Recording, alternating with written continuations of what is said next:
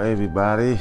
After the Christmas, now it merely Christmas already, and then now it's Happy New Year 2023. I just get the story for the real life from the poor Cambodian people, and his name is Sarun Mon, and he is 66 years old, and he raising four kids so with two girls and two boys. But now they're growing up, and his wife died in 63 years old this year by diabetes because they have no medical care, no medical attention. You can see how their environment in his home with no water cleaning and nothing is there. You see, only the feel of the flood. And flood all over the place. And he will show you where is the flood mark for his home for the monsoon season. And right now after his wife died, he lived by himself. But he make for a living only go pick up they call it the snail for the cow to eat. I'm not sure, but I wasn't there. I just left in 1979 from my country. It's so much suffering and sadness, and back there so much nightmare by the war. I'm not sure what it is, but that's what he said. He said he make the living from searching the snail from the pond or the lake and one kilogram is 500 riel and 4,000 riel if it change to be a dollar, one dollar, and less than a quarters, uh, one kilogram. And his life is so hard, you can see his house, so it built along the dam and along the road. But this, this is a flood area. You can see this red mark here from his tin wall. Um, it's not belong to him either, this land, but he asked for the, the authorities who control that area to live in this area, but it's just temporary, but he don't know uh, where to go next because he didn't have the land. The land there, we call it the Khmer area, it's so expensive. It's near Phnom Penh, of the capital of Cambodia. Very expensive. All poor people don't know where to go, but they just uh, build their shelter. You can see their shelter so poor, and it means the house. They call it the house. It's so so poor, and everywhere of the wall is open, even the roof is leaking too.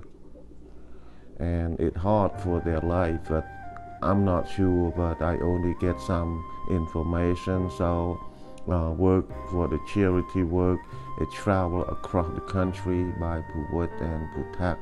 So I got video from there and then some information. And then I live in the US so it have the better life, it changed my futures and changed for the, the poverty of life. It completely changed how to stay, the house so beautiful, have car to drive, have food to eat, have clothes to wear.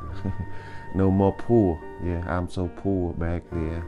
So let's get back to his stories again. So he got four kids to raise.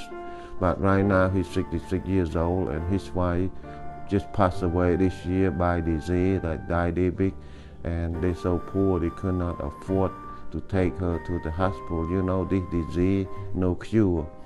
Anyways, and then he just lived the way it is by suffer by this disease. You know, like the leg, her legs, and so painful. You know, die little by little, you know, it's breaking my heart. But I just do the best I can uh, to make this video to spread to all over the place, the world, and at YouTube. And if you guys see the video, if you would like to help and share this video to let the other people know if they have good heart or they have some generous gift, give to them and I can take it there, but only for the money, a few dollars, something. You know, I send it to these two guys and send to helping them. Um, of course, their life have no futures. It's so much despair, no hope, no medical care, no medical uh, attention, no 401k benefit, no retirement plan, and no financial secure, and no nothing. It just start from zero. You see, uh, they have no clean water too. They have to go back there to use that water, the pond on their backyard, and then they make their living from uh, like raising some chicken or ducks, and the other way for they can go out there and cutting the grass and work for uh, a few days. They earned about you know like five dollars or three dollars a day that the top pay for the every employee that they employ over there. And I know life is hard, it's struggle and so much, you know, saying we need to take care and then we need to solve all kind of this problem. The homeless in the United States, it's the same thing. They don't want it to. But when they get into that strap, of the poverty of life, of situation, it's hard to break it through. You know? But we out there in the blue sky, in uh, you know, with the beautiful beach, and we have the clear thinking. We have got through all those things, and then we can see clearly how to help them a couple of dollars. But we got some donors from the U.S. and their name is Juan Lon and Sok Yun and then Huan Lim and Huan Live, but give to him for a little help, twenty dollar, and give to his daughter twenty dollar. It's a little help, but the twenty dollars, it's a lot of money over there. Like you know, like one dollar exchange for the Cambodian riel is four thousand riel, one thousand riel a day or 2,000 riels a day, and the kid go to school, they spend like 2,000 riels a day. It's one dollar split to spend to two days can survive for two days. It's a lot of money. It, it's not a, a whole lot for here, people who have it, but people don't have it. It's a lot of money. It's only helping from our heart, do the best we can. You know, I'm here to send some money to those groups like Putak and Puwot too, uh, to helping all the poor. And I'm here kind of his team too, but I was living in the United States. I remember from my past, it's so much poor and so much have nothing, no water, no clothes, no food, no shelter, no anything. It just no, it no, it no anything, just no. But I'm here just more opportunity put my energy to work. But I got here, I spoke no English, but I learned little by little. But now I'm on the land opportunity.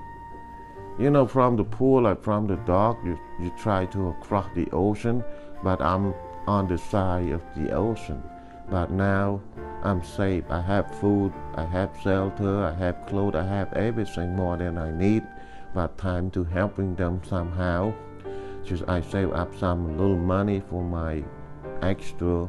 Well, I'm not rich, but little extra to helping them because I cannot stand back there with the happy lights and fancy stuff over here that they don't use it and just watch them without having a heart to helping them.